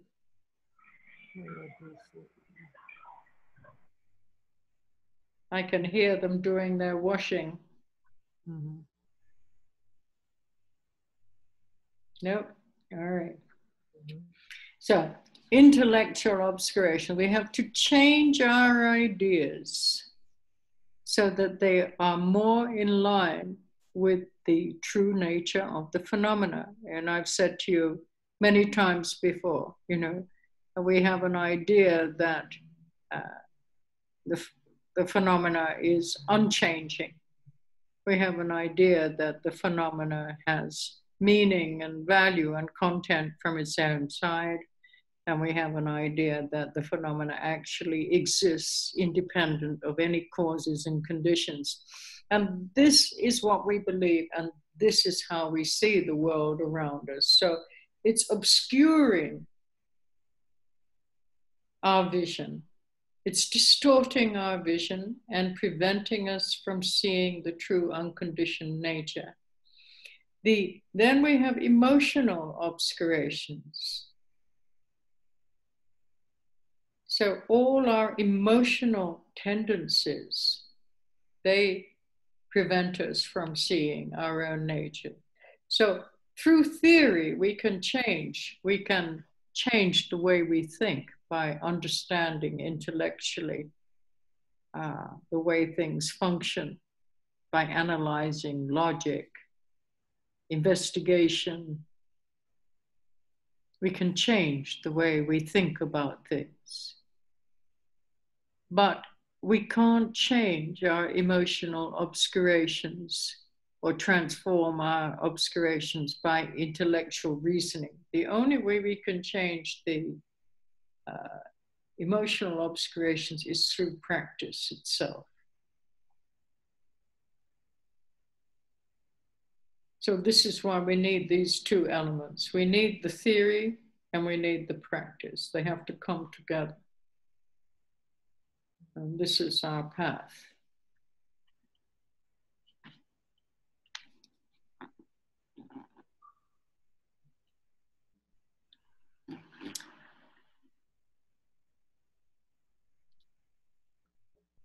Então, é, voltamos a, a, analisar o mérito. Hum? Então, é, geralmente, quando nós sentimos tanta responsabilidade, nós nos sentimos muito cansados. Né? E por vezes na, na, na, nossa vida. Nós sentimos muito cansaço e esse cansaço gera um nível de estresse e possivelmente nós sejamos, nos tornamos mais agressivos, nos tornamos arrogantes com, com as demais pessoas. De maneira que é muito importante que nós vejamos o nosso dia como um novo dia e não como uma mera repetição tediosa. Nós precisamos conceber o nosso dia como mais um dia repleto de oportunidades de ver as coisas de um modo diferente. O mérito tem relação com a remoção de obscurecimentos. E o que é obscurecimento? Nós somos ensinados né, nos, nos ensinamentos budistas, nós somos ensinados que temos dois principais obscurecimentos que nos impedem de ver a verdadeira natureza, nos impedem de alcançarmos a iluminação. Esses obscurecimentos são o obscurecimento intelectual e o, o obscurecimento emocional. O, o, o primeiro, o obscurecimento intelectual, ele tem relação com o fato de nós vermos as ideias incorretas, de nós termos assunções incorretas e refletidas. Nós temos nós concebemos determinadas ideias como absolutas sem examiná-las, sem estudá-las. E essas ideias e o apego a essas ideias incorretas é por causa dessas ideias incorretas que nós vemos de modo distorcido, de modo desvirtuado. É, de maneira que nós precisamos é, é, remover esses obscurecimentos para que nós possamos estar mais alinhados com a natureza dos fenômenos. Nós estarmos mais alinhados com ver a verdadeira natureza dos fenômenos. De um modo geral, as ideias que nós temos, nós concebemos como algo imutável, que ah, elas são, são plenas de significados, valores, conceitos e características do seu próprio lado, independentes de qualquer causa e condições. E isso é como nós vemos o mundo. E esse modo né, de ver o mundo, considerando as aparências como imutáveis, repletas de significados, valores e conceitos e características por si mesmos, independente de, qual, de qualquer causa e condições, isso nos impede de vermos a nossa natureza não condicionada há também os obscurecimentos emocionais. Esses obscurecimentos emocionais, eles nos impedem de ver a nossa verdadeira natureza. Nós podemos mudar né, o nosso obscurecimento intelectual. Nós podemos eh, transformar esse obscurecimento intelectual através da análise, da lógica, da pesquisa, mas nós não podemos mudar crescimentos emocionais, sentimentais, através do uso do nosso intelecto. o, uso, o único modo que nós podemos é, mudar os obscurecimentos emocionais, sentimentais, é através da prática. E é por isso que nós dizemos que é, a, a parte intelectual e a parte da prática, elas precisam caminhar juntas. E Yeah, we have to be careful with that first kind of feeling of depression, not to make it more and more solid so that it completely overwhelms us. It, it, it, completely obscures our vision as to the true nature of what is happening.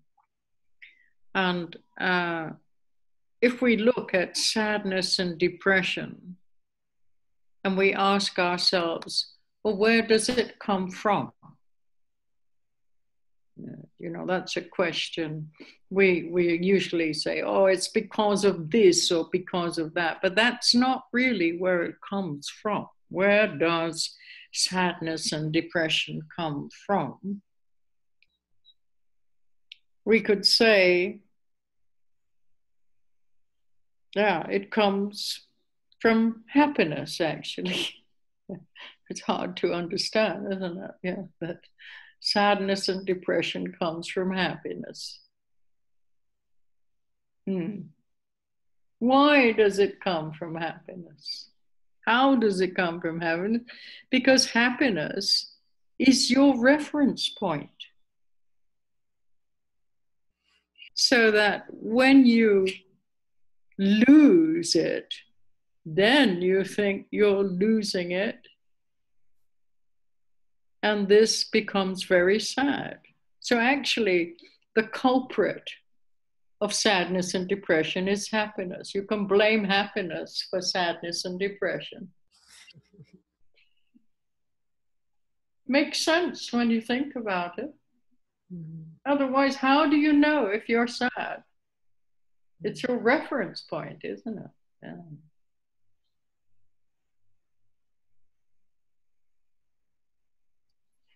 True.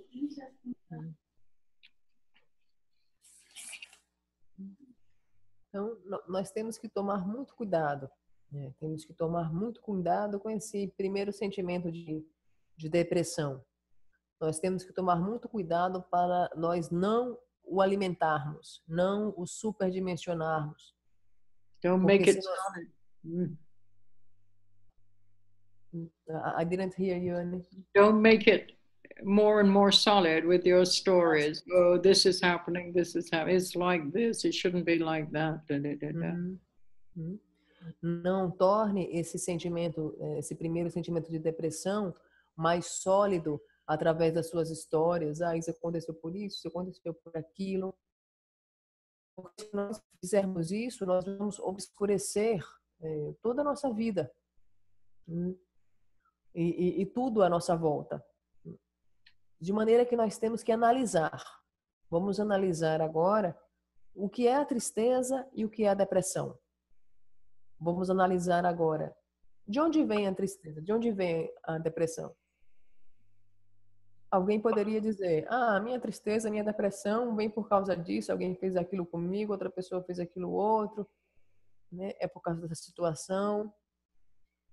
Mas na verdade, na verdade, se nós analisarmos mais profundamente, a tristeza e a depressão vêm da felicidade. Por que e como a, a tristeza e a depressão vêm da, da felicidade? Parece um pouco estranho isso, mas se nós analisarmos, fará sentido. Nós, nós estamos dizendo aqui que a tristeza e a depressão vêm da felicidade, porque a felicidade é o seu ponto de referência.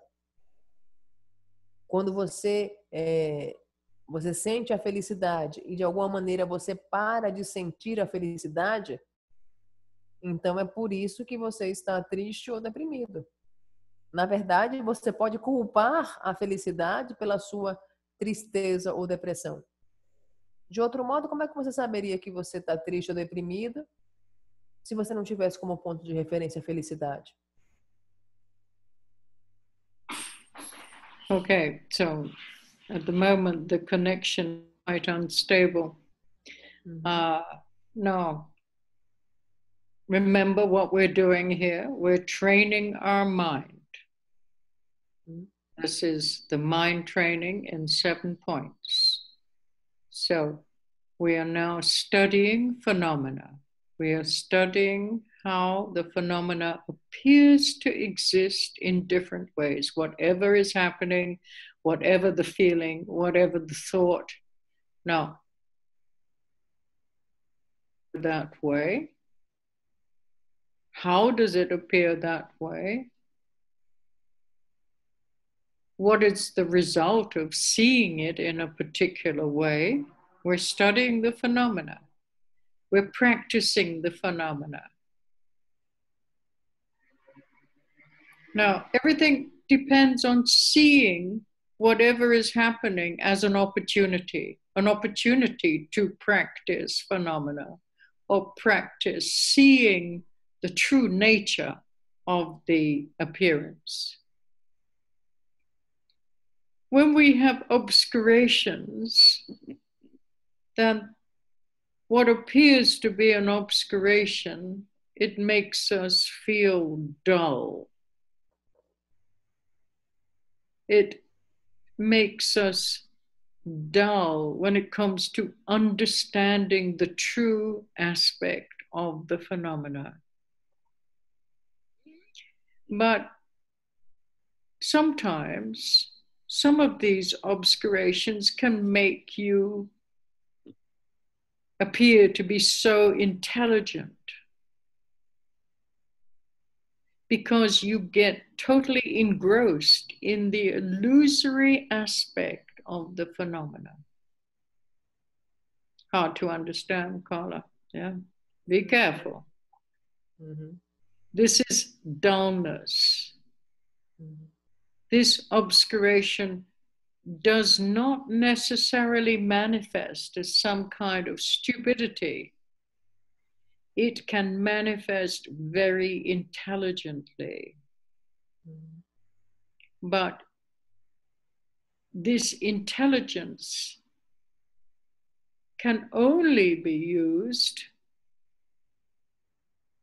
when it comes to get engrossed within this illusory net.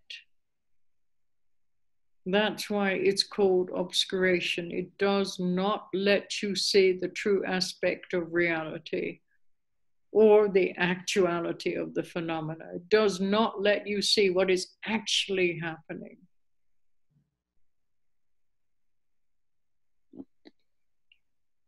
So, if many of us knew for sure that we were going to die tomorrow, many of our plans, our lifelong plans, we'd be dropping today. We wouldn't even plan about, you know, what, where we're going on holiday and uh, how, what's our next job and, you know, position in society and worried about our relationship. Uh, we just drop it all if we really knew that we were going to die today. All those things would be futile. They'd be meaningless. They wouldn't have any value anymore. But today we give them so much value, all these illusory phenomena that we believe in having that kind of meaning and that kind of value. And this is getting totally engrossed in the illusion. So engrossed that we don't want to see the true nature.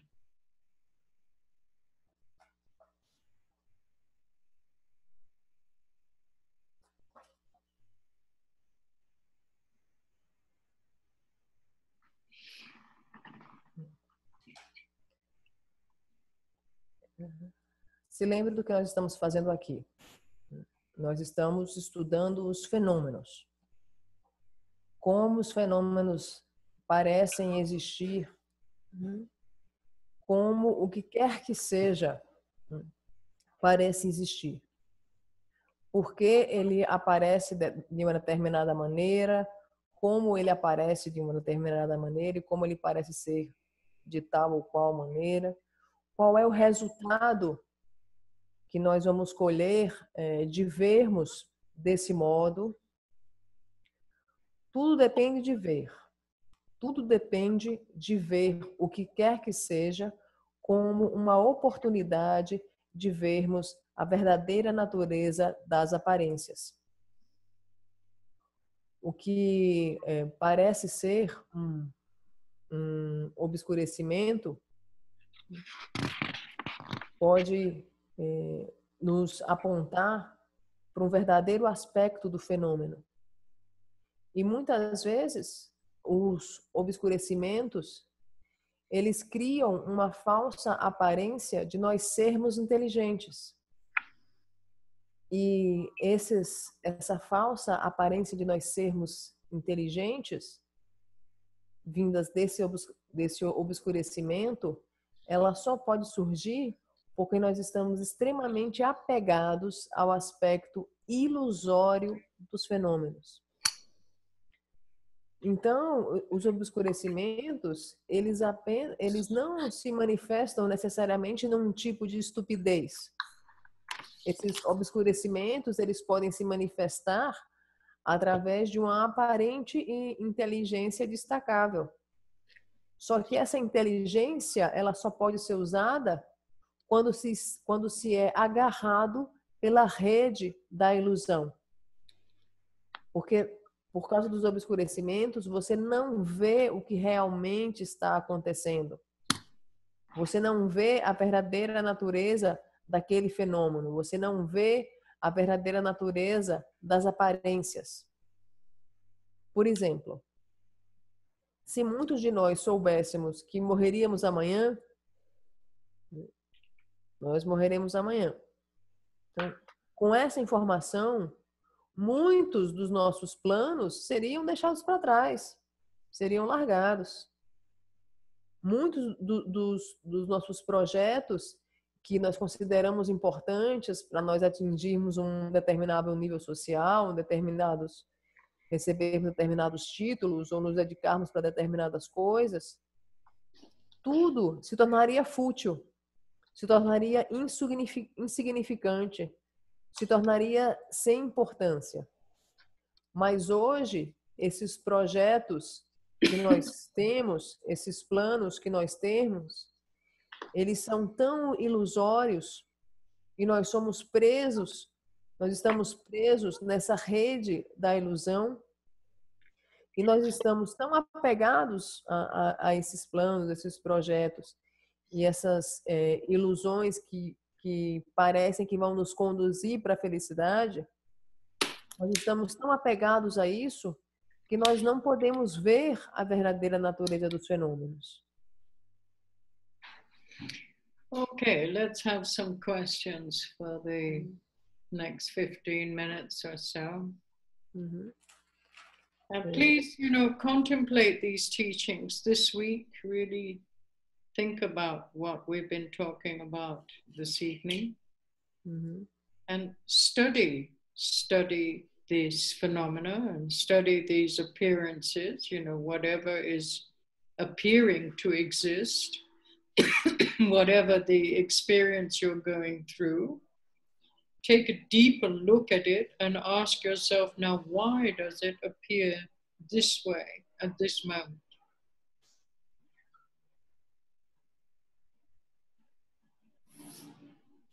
What conditions are necessary for it to appear in this particular way.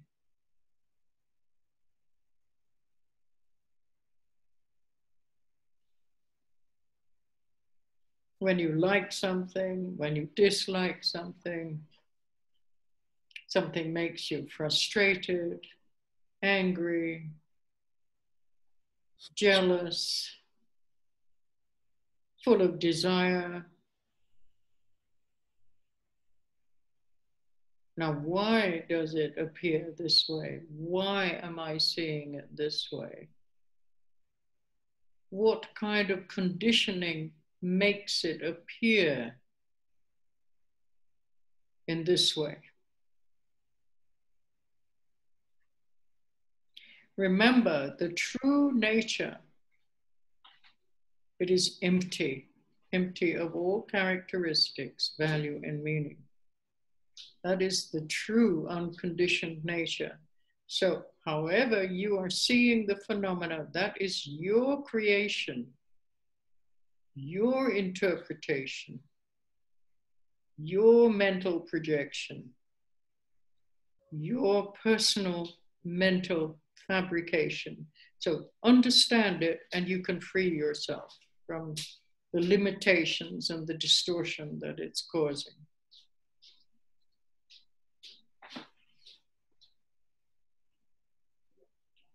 But you have to have that wish to see the true nature. If you don't have the wish to see the true nature, you won't see the appearance as an opportunity to understand it.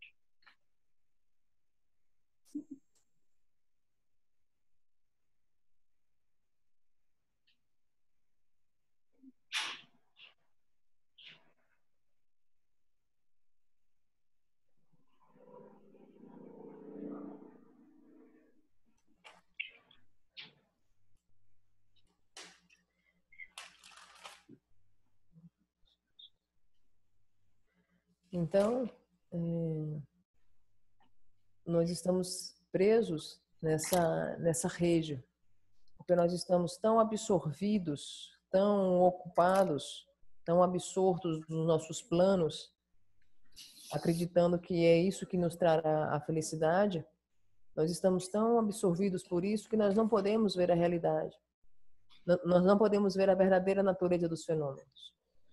Desse modo, contemplem estudem os fenômenos, estudem as aparências, pratiquem as aparências, pratiquem os fenômenos, pratiquem as suas experiências. Diante de uma determinada experiência, se questione: por que isso parece ser desse jeito para mim? Por que isso aparenta ser dessa forma nesse momento? Quais são as condições necessárias para aparecerem desse modo. Quando você gosta, quando você não gosta, quando você se sente frustrado, quando você se sente raivoso, quando você se sente ciumento, quando você se sente cheio de desejo. Se pergunte: por que eu estou vendo desse modo? Que tipo de condicionamento faz com que eu, eu esteja vendo desse modo?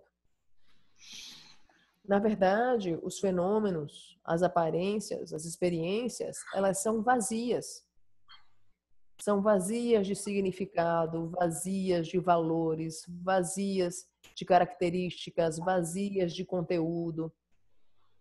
É a sua criação, é a sua interpretação, é a sua projeção mental que está criando ah, aquela circunstância e que faz com que você é, é, se aprisione aquele modo de ver restrito e limitado. De maneira que nós precisamos entender os fenômenos, precisamos entender é, a, as, as aparências para que nós possamos justamente poder praticar esses ensinamentos do treinamento da mente nós possamos nos libertar a nós mesmos para que nós possamos nos libertar da limitação que, que é causada né, por, por esse modo de ver equivocado. Porém, é muito importante que nós tenhamos a aspiração sincera de querermos ver a verdadeira natureza dos fenômenos.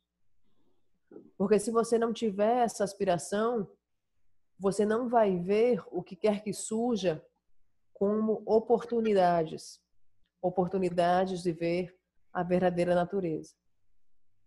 Uh, Anne mencionou para nesses, nesses 15 minutos. Howie, could you get me my red shoulder bag? I have to, some documents. Huh? Mm. Anybody yeah. have any questions? Before uh, uh, alguém tem alguma pergunta antes de nós é, sairmos do, da reunião? Sorry, these teachings appear to be a bit heavy today. Appear to be a bit heavy.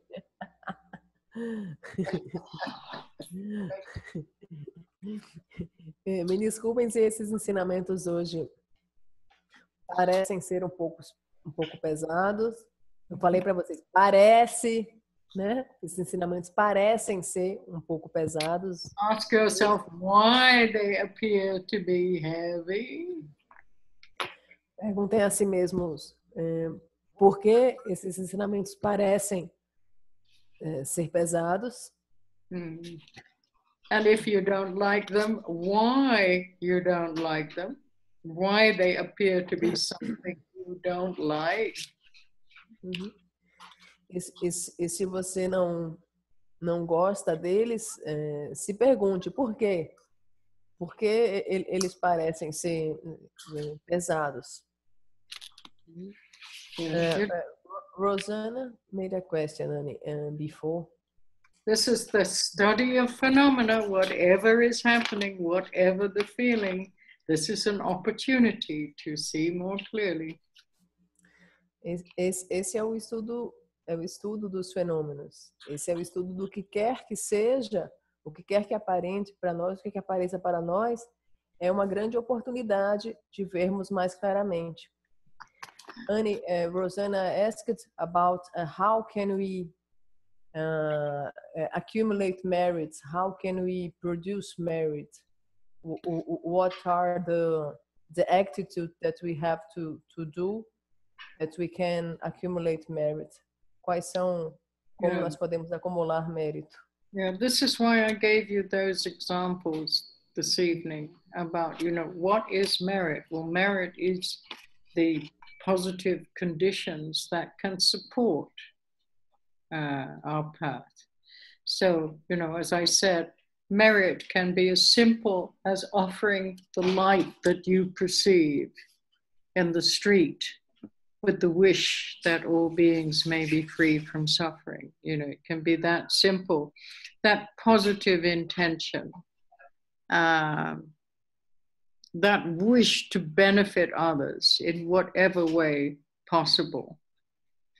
That's that's all merit, you know, not not having a negative attitude towards what's arising, but trying to see more in a positive way how to work with whatever appearances that are arising.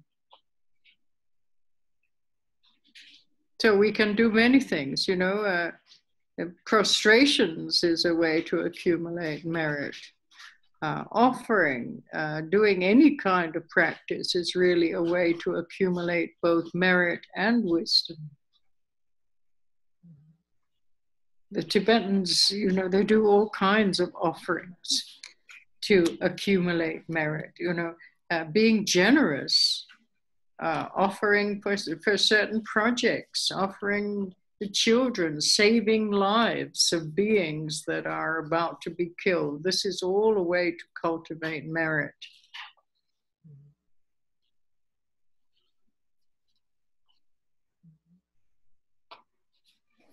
Inf- infinite ways to create merit. Mm-hmm.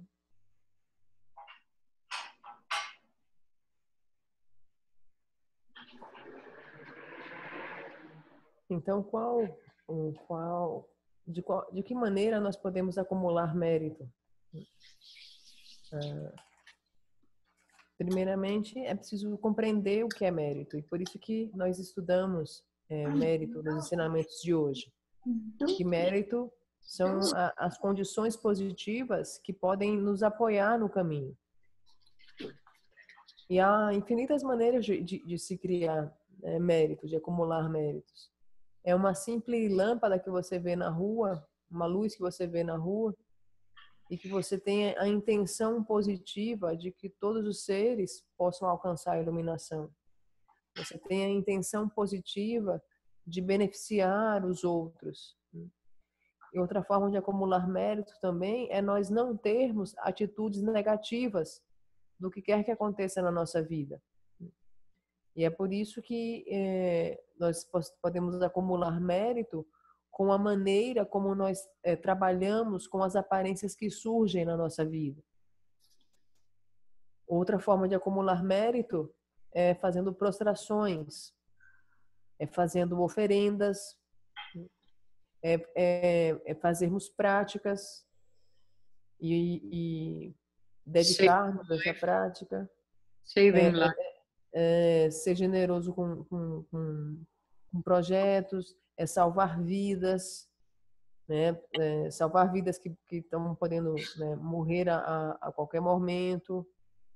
É, há maneiras infinitas de, de acumularmos mérito. Mm. But basically, it's that wish to be able to benefit others. Because it, the, when you think about others, you're not thinking about yourself.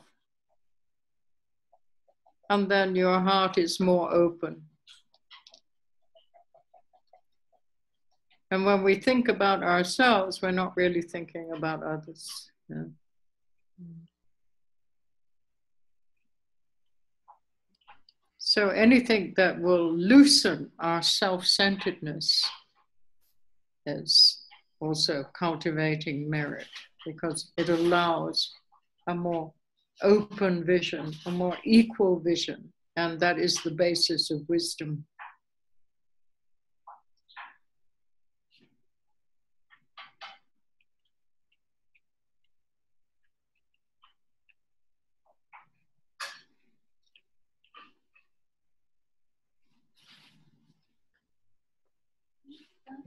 Então, há inúmeras maneiras de, de acumularmos mérito, mas basicamente é o desejo de beneficiar o outro. Quando você pensa no outro, você não pensa em si mesmo. De maneira que quando pensamos no outro, o nosso coração se expande